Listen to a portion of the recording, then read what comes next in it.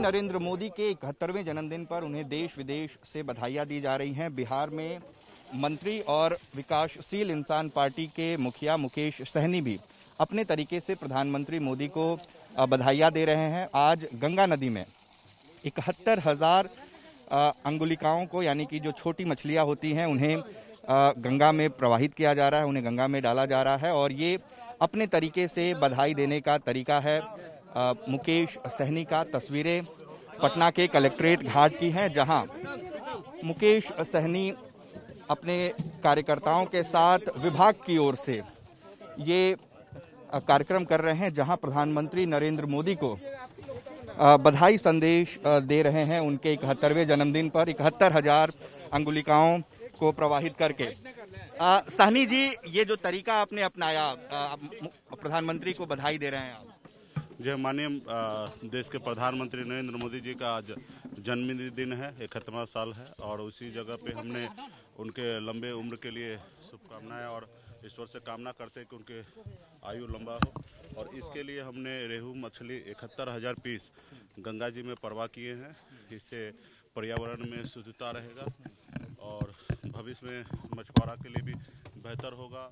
दूसरी बात है कि जब हम तालाब में मछली पालते हैं तो उसका आयु ज़्यादा से ज़्यादा एक साल डेढ़ साल होता है। जब हम गंगा जी में डाले हैं तो उनका आयु कई वर्षों तक रहेंगे। जब तक वो जब गंगा जी में रहेंगे तब तक सुरक्षित रहेंगे।